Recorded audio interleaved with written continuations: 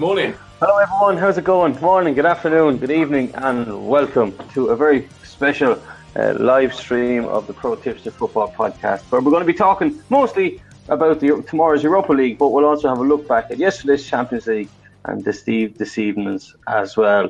Uh, joining me, you'll see here, here, here, and here, or here are Dan, Pro Tips Tipster Dan, and Pro Tipster Martin. Hello, lads. High fives. I don't know where I don't know what way I'm going. How's it going, fellas? Is all right? Yeah, not bad, not bad. Busy all morning, as always. It has been a busy all morning. Um, uh, lads, did you like the football last night? Oh, yeah, incredible games. I mean, I had both on in the background, but I was mainly concentrated on the Juve Spurs game, and that was probably one of the, as a neutral, one of the most entertaining games I've seen for quite a long time. Really enjoyed it. Yeah, Are there any neutrals with Spurs though, Martin? Well, I mean, I, I, don't have too much hatred for Spurs to be honest, but um, I've just got to accept that they're a decent team now. Unfortunately, uh, is Buffon past it? He, he kept him in the game still with a couple of decent saves, but you can't, you know, um, he could have done better for the for, for the Eriksen free kick, I think, but Juventus should yeah. have been out of sight before Spurs even scored. They should have been three 0 up before then, but yeah, they should have been. got a chance to get back into it. He made he made he made two bad mistakes, but yeah, you're right. He, he did make some good saves as well. Um, you don't want it ending how it ended for Totti though with Buffon. You know. I mean. Um, I, I, can I honestly can see Spurs turning them over at Wembley. So mm-hmm, mm-hmm, for sure, sure. There's two two a two goal advantage or a away goal advantage now. So if they keep it tight, one all, they're happy nil nil. They're happy one nil either side. Well, no, obviously not to, not to Juventus, but you know, yeah, I think Spurs definitely have have the upper hand here. What's your uh, thoughts, Dan? I was surprised. Um, Juve went 2 0 up, and I said to you, didn't I? Oh, look, check it out. You know, I told you Juve would win, but wow. Um, I was actually watching the Man City game. Um, I wanted to see how hard they go for Basel, and it was actually surprising because Basel kept attacking even in the second half, 4 0 down. They were still going for it, and it made for an open game. I wonder if Pep went over to their manager after the game, went, you know, nice one, cheers, lads. um, but um, wonder, yeah. yeah. the goalie had an abs- uh, I don't know if you've seen the goals, but the second one, um, yeah, Bernardo Silva should never have scored that. And the third one, he, the keeper just watched Aguero yeah. smash into the corner of the net, you know. Um, but they play. It's Man City. They keep on rolling on. They can play a weekend side at, at home now you know, four away goals. They've got Wigan in the cup. Yeah. It's um easy couple of weeks. Well, an easy few games them coming up. I know they've got the League Cup final. They've got a couple of others as well. But this is what Pep does. Um, I heard it was the 23rd time under Pep Guardiola, Man City have scored four or more. Yeah, that's amazing, isn't it? Unreal stat. It's the biggest away win in a in a in a knockout stage of the Champions League for a British side, isn't it? Something like that. Is that right? Yeah. Yeah. yeah. Liverpool's three 0 win um, last year or the year before. I think was a couple of years ago was the was the record, but yeah, they broke it last night. Okay, yeah, they they looked good. I only saw the highlights because I was watching the Juve match, but yeah, the, the highlights I saw, uh, the long ones, uh, yeah, yeah, they look pretty good. I, I really regret. Sometimes I forget that I have the Irish channels. I really regret watching BT Sports last night because it was so over the top uh, for for Spurs to win. You know, it's like yeah come on, lads, a little bit of balance. You know what I mean? Like, just even if they just had one one troll in there, you know, Graham Souness or something, who could just be like, "Nah, come on," you know. But no, it's I I, I don't like that style of um of TV programming where it's it was very very one sided, you know. Um, but anyway, uh, we'll see what happens tonight. What are you, what, what, what are you going to watch tonight, lads? Which one? I don't know. You know, I don't think I will. I think I, I think the missus good you know, will want to watch the Arsenal. Oh, Valentine's game. Day. Yeah, yeah, yeah, yeah, yeah, of course. L- luckily, the wife's an Arsenal fan, so I probably will have to watch that, um, which, you know, will be, be good to watch. But after that, I don't think I'll be seeing any 8 o'clock kickoffs, that's for sure. Oh, oh, oh, oh, oh, oh, that's awful. No, no, I, I don't have any of that. She knows work takes precedence over Valentine's Day. Dan, what are you going to watch? You going to watch Liverpool, Porto, or Real and PSG? Neither. Um, Graham, which I, I, got hate on YouTube for saying I hate La Liga, so I'm just going to repeat it. I hate La Liga. I hate Real Madrid. I hate Barcelona. and Real Madrid against PSG should. I mean, I know it should excite people, but it really doesn't excite me. And Porto Liverpool, I think it's going to be really tight, and I'm not really a fan. I, I don't really want to watch nil nil. So um, night night uh, cold up with a book, I think for me. Um, yeah, I just realised I was talking about Europa Leagues. It's tomorrow, isn't it? I was yeah, yeah, yeah, yeah, yeah. yeah. I'm going to sit there tonight watching. Uh, I'm probably going to watch Real and, and PSG with, with my little with my little Champions hey. League thing here, and yeah, I'm going to sit that. And you're my Valentine. Um, right then, lads. Uh, do you want to make predictions for tonight, or do you want to go straight onto Europa League stuff? Um, I can give you my predictions for tonight if you want. Yeah, go on then. Go on, go I've for got, I've, I've gone for a Real Madrid win, and I've gone for Porto base Liverpool under two and a half goals. Under two and a half. So uh, Real Madrid is what 2.3, 2.4, something like that. Two point four five. Let me just check. I've got my tips right here in front of me. Oh, uh, Real, Madrid, Real Madrid at two point three seven, less than two and a half goals. Porto Liverpool one point nine nine. Oh, nice, not bad. Uh, very good. What do you think, Martin? Um, I'll be really tempted to go for draws in both games. You know, three point six and three point four ish. Um, I, I, I, think there'll be goals in both games. Over under two and a half in Porto Liverpool. I can see it. Um, uh, obviously, Real Madrid PSG is probably going to be like four three or something stupid. Um, mm. But yeah, I'll, I'll, be tempted with it. I'm probably not going to have a bet on, on either game, but I'll be tempted with a draw on both. All right, fair enough. So uh, yeah, look, we wanted to more because because we had a, a Champions League podcast that came out on Monday. So go check that out on YouTube, iTunes, uh, Pro Tipster, um, the news section of the Pro Tipster website. You can listen to that. Where, where uh, I was with Dan and he gave his tips for all the games. So this podcast is we wanted to focus a bit more on the on the Europa League. So uh, yeah, I even got geared up. Look, I got a hat, which was uh, a, hand, a hand me down, if I'm honest. But uh, um, this this this uh, this is when the Europa League starts to heat up, last, doesn't it? It, it starts to get really good here because uh, the better teams. Uh, they know that this is their best shot at, at getting into the Champions League. Well, ones that don't have chances, of course, to win their league, this is their chance. So, like, you know, you have a look at Arsenal, Lazio, um, teams like that. This, um, I suppose, Mar- Marseille as well. This is their chance to get into the Champions League uh, for next season if they don't, you know, finish in the top uh, three or four in their leagues. Um, but uh, on Arsenal, is uh, how, how is Wenger going to approach it from now on? Is he going to continue to rotate? Or is he going to start playing his uh, strongest strongest eleven? Arsenal have got real, real problems tonight. Uh, tomorrow night. Yeah, uh, Lacazette's out for four to six weeks. Aubameyang is ineligible. So um, oh, yeah, yeah. Brilliant. Um, I, I, was reading actually. I was reading Arsenal fans going, "Screw Danny Welbeck, play Eddie Nketiah." That, that that's how high they rate Welbeck. Wow. Um, but yeah, they've got real problems because no Lacazette is out for a month, out mm-hmm. for at least a month.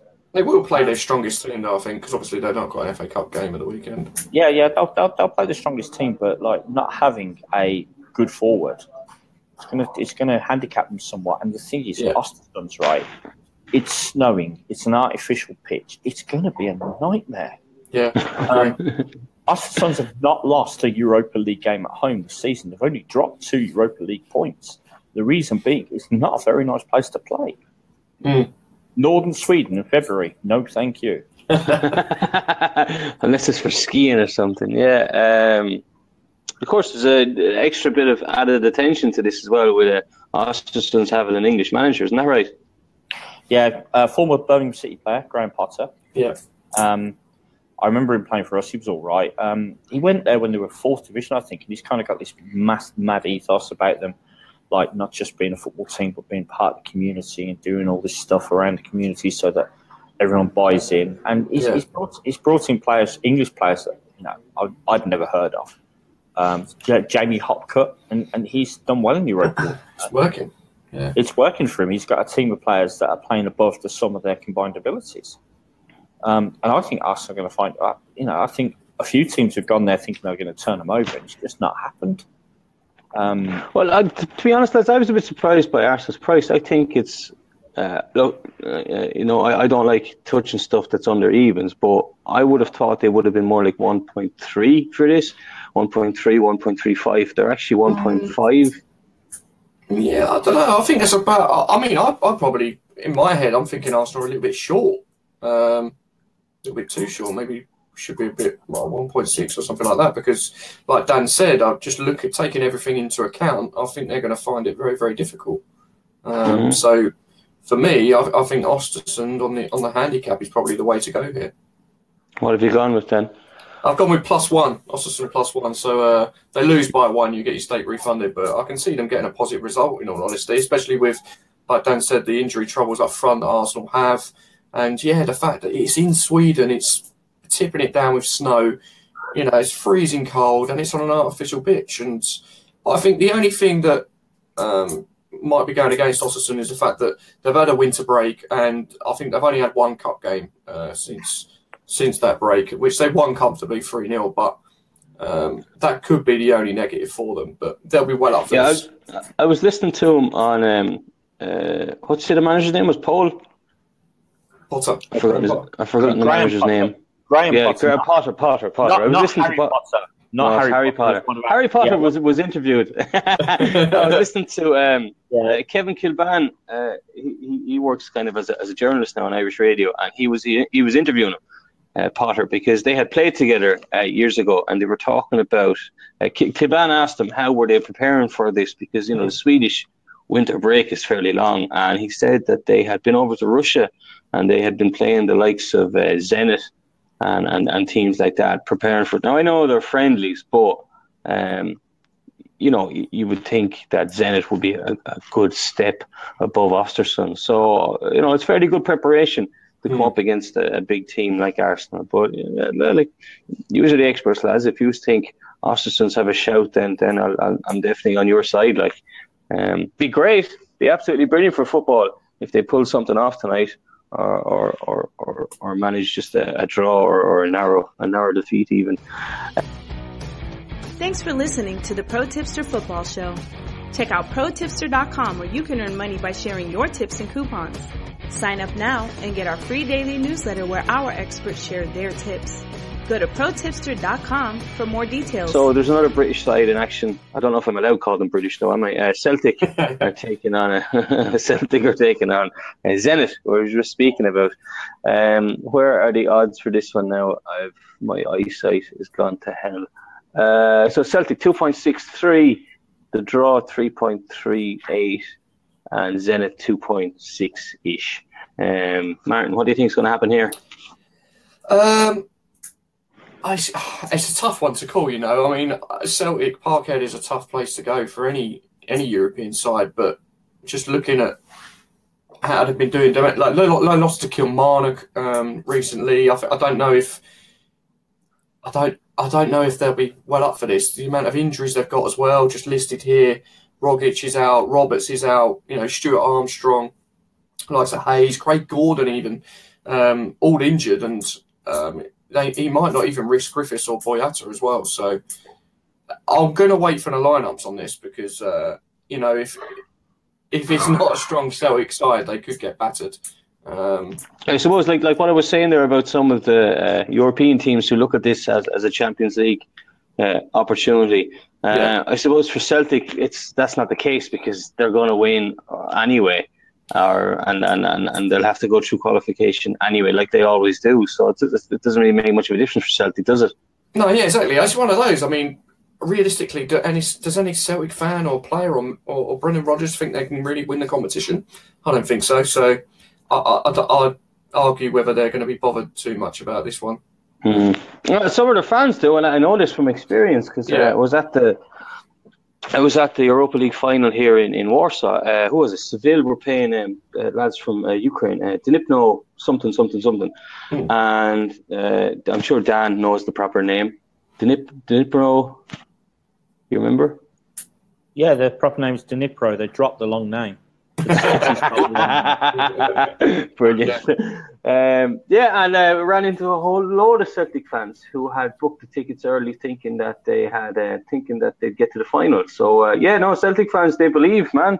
I reckon there'll be some in uh, uh, Lyon. It's in this year, the final, isn't it? Uh, mm-hmm. Dan, any, you have any prediction on this? Um, yeah, I've gone. I've gone for um, Zenit to win. Mm. Um, purely because I, Martin stole my uh, my stats about the uh, the injuries. Celtic have got a bunch of injuries. Um, they lost uh, three games at home in the Champions League. Zenit are unbeaten this season in the uh, Europa League. They played three away games. Um, they smashed Vardar in Skopje 5 0. Uh, drew 1 1. Um, God, I can't see my handwriting here. And beat Sociedad 3 1 away. So, yeah, and, and Parkhead's not. I don't think it's that great a deal. I don't think Celtic. I don't think Celtic it that seriously. Um, because, I mean, it, it's like Martin said, they, they're not going to win it. They're going to be Champions League next year because they're going to win the Scottish League again. I don't know why they don't just give them the trophy at the start of the season at the moment. um, so Zenit two point six seven. Yeah, why not? Seems like value. Yeah, why not? All right. Uh, any other? I suppose there's another big one. I don't know if you if you've had looked at this, lads. Dortmund, Atalanta. That looks like a good one. Dortmund are one point eight. Atalanta four point three three.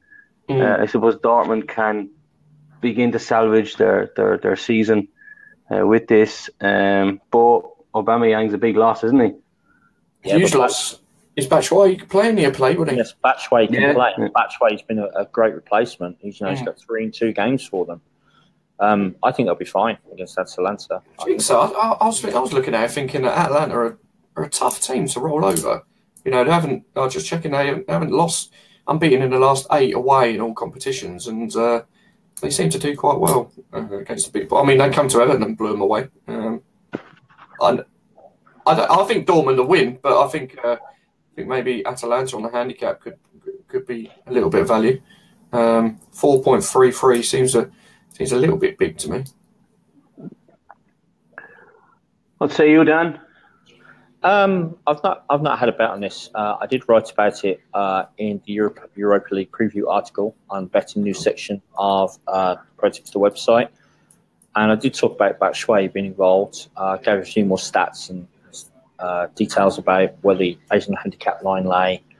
Uh, so if you want to read that, by all means, go for it. Um, there's a couple of other games preview as well. Uh, I know Celtic Zenit was one of them. Can't remember. Um, I the I suppose the the biggest uh, the biggest football hipster uh, Europe, European tie in a while is happening uh, tomorrow night. Napoli are playing uh, uh, Red Bull Leipzig, uh, Rasenballsport uh, Leipzig. So that's a big one for the football hipsters. Are Napoli uh, though, because you know they made it. It was fairly obvious about halfway through their Champions League campaign that they were not going to be taking it seriously and were going to uh, uh, concentrate on the league because they got off to such a bad start.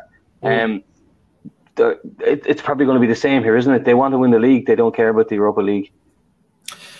Uh, I don't know. You know, it's yeah, they do care about Serie A and they're going to do everything they can to win that. But I think they've got a great chance of winning the Europa League this year. But it, it does depend on how seriously they're going to take it. And honestly don't know how seriously they're going to take it. But I think just looking at the prices, I think Napoli are a little bit of value. I expect them to be odds on, to be honest.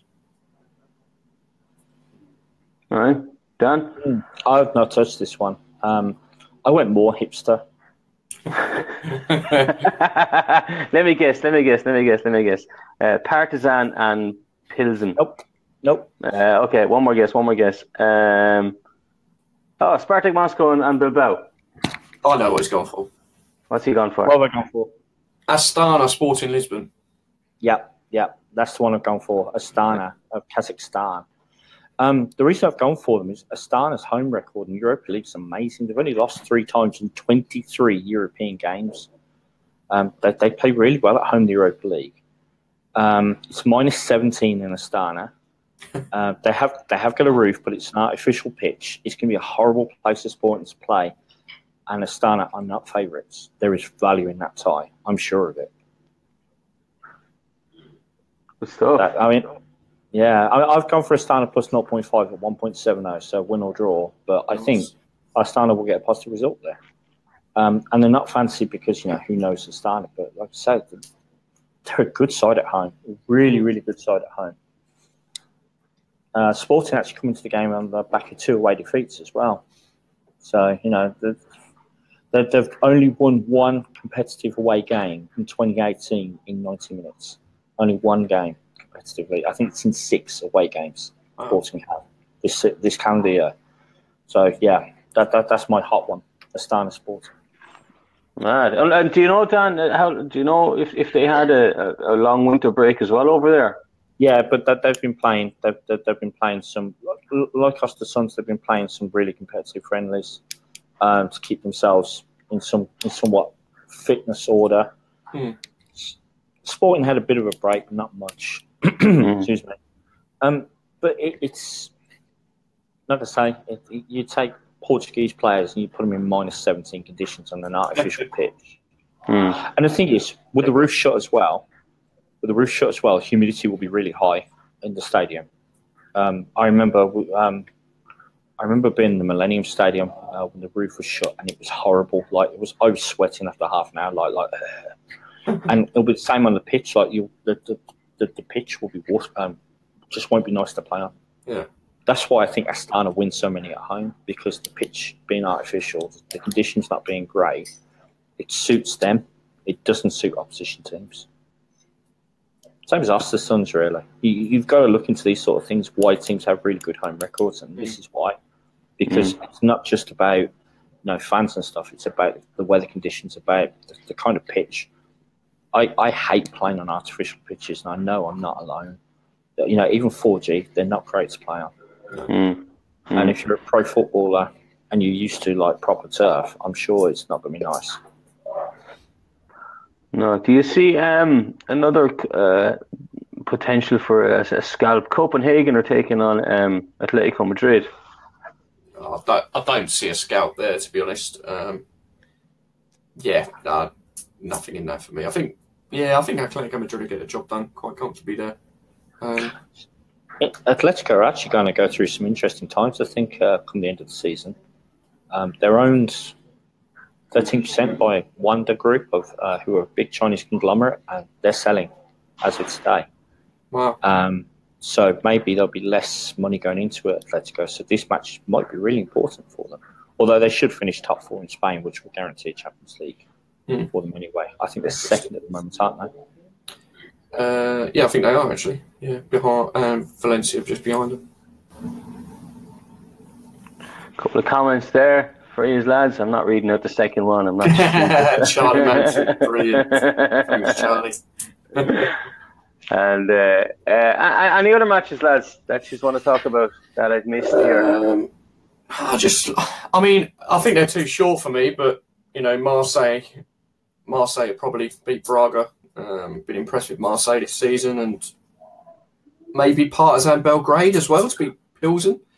Uh, very, very intimidating place to go. I think both have had uh, winter breaks, so they're a little bit rusty, but I think there might be a little bit of value there at Partizan. Um, but yeah, nothing, yeah, nothing else really sticks out for me. Leon Villarreal will be a good game. I'm not going to bet on it, mm-hmm. but that'll be a class one to watch.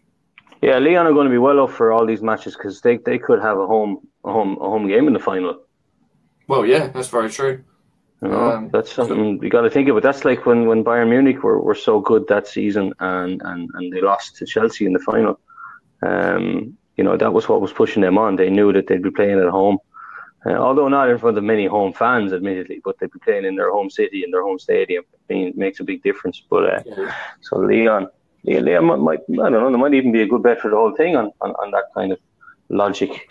Um, Sure, we'll finish up then, lads. Unless there's any, I don't think there's any other matches you want to mention, is there? Uh, no, nothing I can say that sticks out worth worth talking about. I don't think. All right, then. Sure, we'll leave it off then, and uh, we'll be back on tomorrow evening with our um, our normal podcast where we look forward to the weekend's action from all the European leagues, with a special focus, of course, on the Premier League and the Championship. Uh, Pro Tipster Dan, where are you on the internet? I'm ProTipsterDan, all one word on Twitter. Uh, ProTipsterDan, all one word on Facebook. Um, yeah, come and find me. Give me some abuse about Birmingham City being crap. Uh, um, ask if you've got any questions about football or tips. Please give me a shout. Okay, what about you, Martin? Uh, you can find me on Twitter at ProTipsterENG or on Facebook at ProTipsterMartin, three separate words. Um, yeah, guys, come and say hi.